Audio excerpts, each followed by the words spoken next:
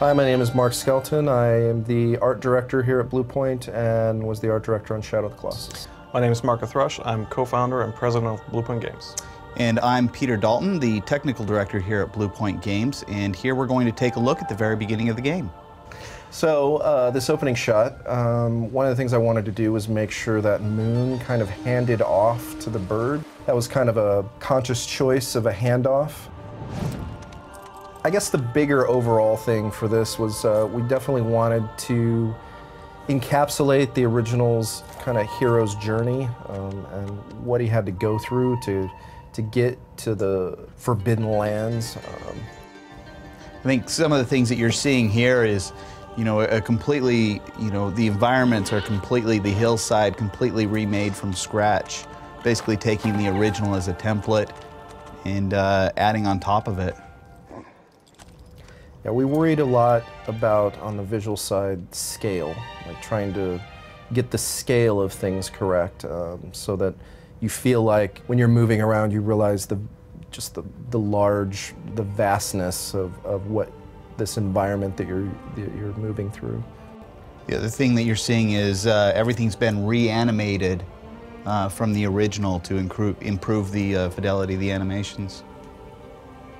Here's a good example where we added a decent amount of detail that was just not present in the original.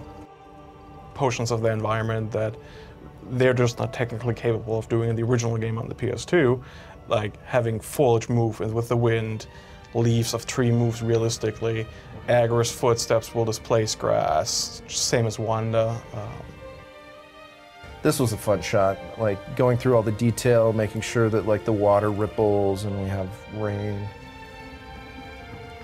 Yeah, this in the original was basically just Wanda riding along a flat plane with maybe a couple bushes here. Yeah. What I like is you can start to see some of the lighting improvements and stuff that have, you know, really kicked this game off and uh, get it going in the right direction.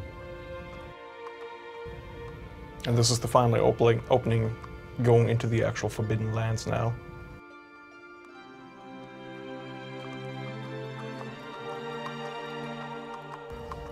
Got all new physics system handling the uh, Agro's uh, poncho and uh, horsetail physics. I like this shot here. It gives you that first sense of scale of just how massive the world is going to be with looking at just, just a small corner of it.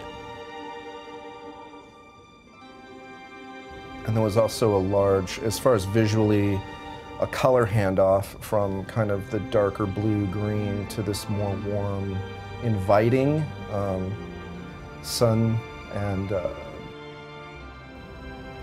yeah, the sky was a big consideration too. Um, obviously in the original one, they had a very kind of punchy hole, like punched holes in, a, in clouds, sky, big overcast uh, with bright spots. We wanted to make sure that we brought that back into to this version as well. And here we are finally on the title screen. Uh, so obviously this was just a small teaser, the opening of the game. Uh, we hope you get to enjoy the full game when it comes out in February 2018. PlayStation